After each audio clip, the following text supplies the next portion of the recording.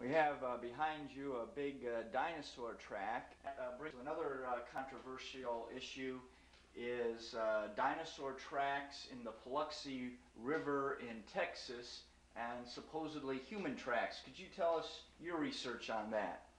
Well, I had worked off and on for a couple of years in the Paluxy uh, area where these dinosaur tracks with man tracks theoretically would have been.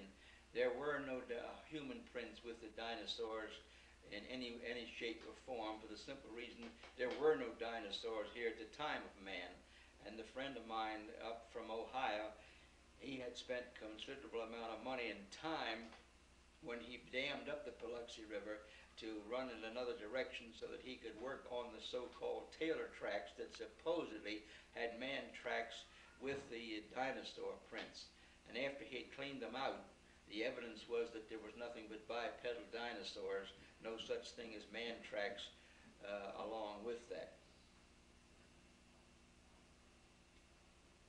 Okay, um, there's been some other things that have been found there. Uh, uh, a hammer that uh, supposedly uh, was to build the ark. Could you tell us about that? Well, the man who was finding so much of this stuff, there wasn't actually uh, a found a hammer,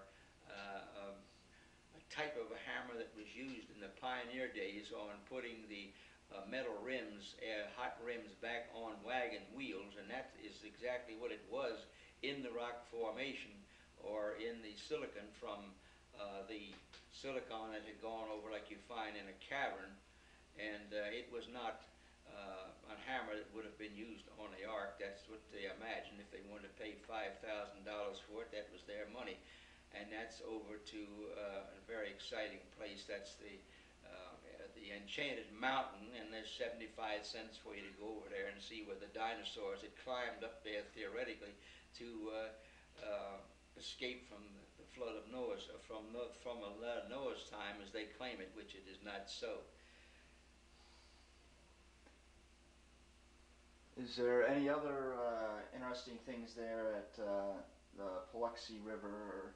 I know well, they, had, had some uh, very interesting things happen theoretically at the Paluxy. They had claimed one thing that they found a chain that was in the formation, and they claimed that what happened was that one of the prehistoric men was being chased by a dinosaur that had already eaten up his sweetheart, and the chain fell out of his pocket. Now, if you can picture a prehistoric man with a pocket from uh, any one of the department stores with a chain hanging in it, that's better it's not so. Um,